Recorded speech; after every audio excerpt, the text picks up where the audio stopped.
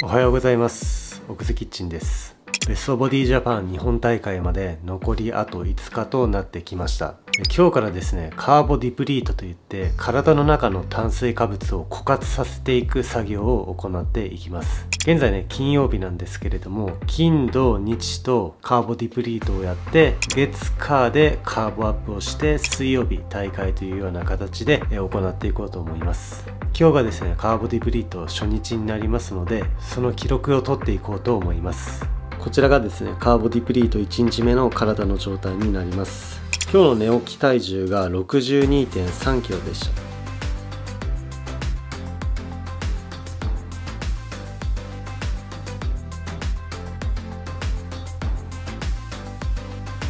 た。はいということでこんな感じです。で大会出る人はねカーボディプリートカーボアップとする人が結構多いかなと思うんですけれども、まあ、僕ぐらいの筋肉量ですと、まあ、そんなにね大きな変化っていうのはないかと思うんですけれども、まあ、ちょっとねこれも実験ということでやっていこうと思います。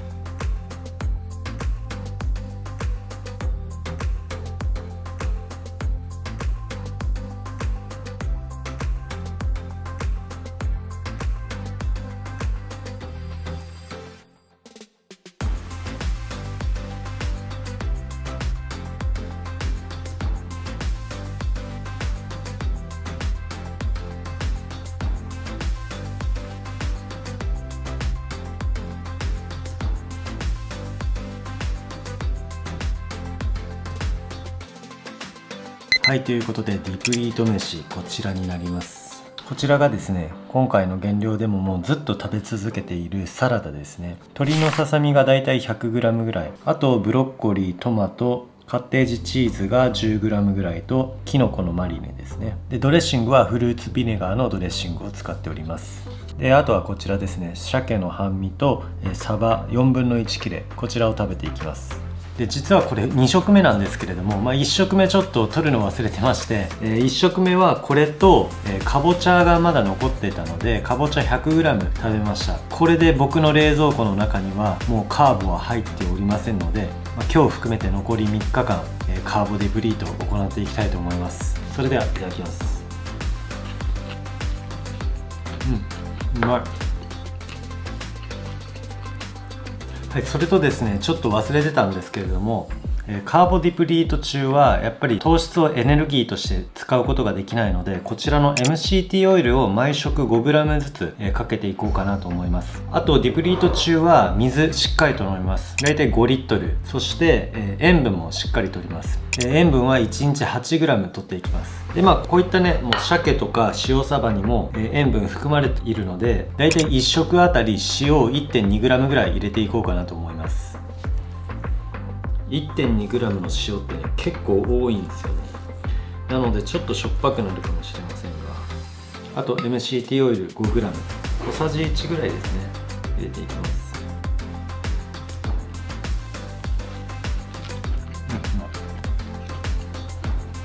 塩 8g はそんなに多い量じゃないです。大体一般男性の平均の1日の摂取量の目安が 7.5g 未満ということなので、まあ、そんなにね多い方じゃないかなと思います。で僕は普段からもうこういったほぼ自炊で食事をとっていますので塩分の量に関してはかなり少ないと思います。外食するとやっぱりいろんなところでね塩分使われているので必然的に多くなってくるんですけれども、まあ、僕みたいなほぼ自炊するような人は基本的には塩分足りてないですしまた運動によって塩分も出てきますので逆逆に意識的に塩分取った方がいいぐらいなんですけれども、まあ、ディプリート中は特にね塩分はしっかりと取っていきます。では3食目でお会いしましょう。はいということで3食目いただきたいと思います。でこちらですねさっきと一緒の内容になります。こちらいただきます。前回の原料では MCT オイルはあんまり使ってなかったんですけれども今回の原料はちょっとこの MCT オイルをよく使うんですけれどもそれがまあ仕上がりにどう影響してくるのかっていうのもねまたこれも実験ですね。それではこれ食べていってトレーニング行って4食目食べたいと思います。はいということでジムから帰ってきてこちら4食目になります。内容はねもう先ほどと一緒です。それではいただきます。いや疲れた。うん。うまい今回の減量はねもうずっと野菜食べてました、まあ、結構ねトレーニングしてる人野菜食べない人多いんですけれども僕はね今回の減量はこのキノコと野菜に救われましたね、まあ、キノコはほんとカロリーゼロですし、まあ、野菜もねほんとビビたるカロリーなんですけどもやっぱね食べ応えがもう全然違う。満腹感が全然違うのでやっぱね減量中は特に野菜食べるのはほんとおすすめですね。それでは今日の Vlog は以上です。また翌日お会いしましょう。はいおはようございます。カーボディプリート2日目の朝です。昨日結構お腹空いてなかなか眠れなくてで朝もね5時ぐらいから起きてました。で現在が7時ぐらいになりますね。ちょっとねなかなか眠れないのがねきついですね。で朝もまだ5時から起きて何も食べてないのでちょっとお腹空きましたね。まああと今日明日の辛抱なんでね頑張っていこうと思います。で今朝の体重が6 2 4キロということでまあそんなに変わってないですね。で体のコンディションがこんな感じになります。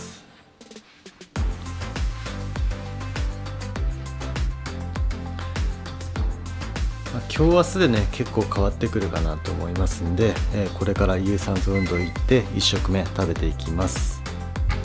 はいお疲れ様です。有酸素から帰ってきました。でこれからシャワーを浴びて食事をしたいんですけれども、まあ、昨日と食事の内容は全然変わらないので1食目から4食目をダイジェストでお送りしたいと思います。それではまた明日お会いしましょう。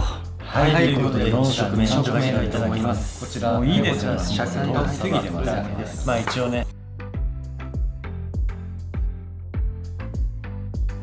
カーボディプリート3日目の朝になります。今朝の有酸素を行って、えー、帰ってきました現在の体のコンディションはこんな感じです。まあねも毎日見てるんでもう自分では変わってるのかどうかわかんないんですけれども横っ腹ですよね。かなり薄くなってきたかなと思います。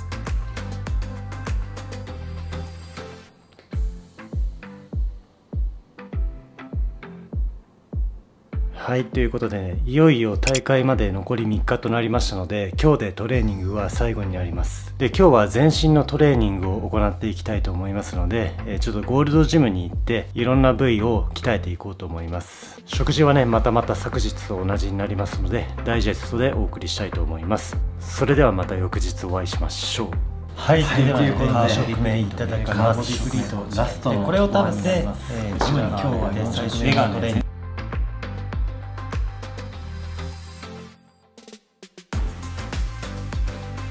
はいということでカーボディプリート3日間を終えて翌日の朝になります。なんとですね体重が 62.3kg から 61.6kg になっておりまして 700g 体重が減少しておりました。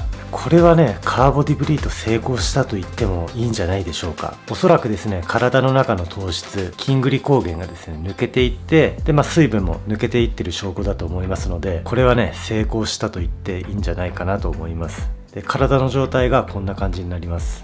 3日前と比べましてもねもう1枚皮が薄くなったんじゃないかなと思います。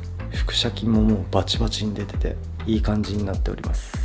はいということで3日間のディプリート生活をお送りさせていただきました。間違いなくね過去一番の体が仕上がってると思うのであとはここからカーボアップですね。体の中に糖質をぶち込んでで筋肉をパンパンに張らせていく作業を行っていきます。またその様子もお送りさせていただきますのでもしよかったらチェックしてみてください。この動画が少しでもいいなと思っていただいた方はグッドボタンそしてチャンネル登録のほどよろしくお願いいたします。それでは良い一日を。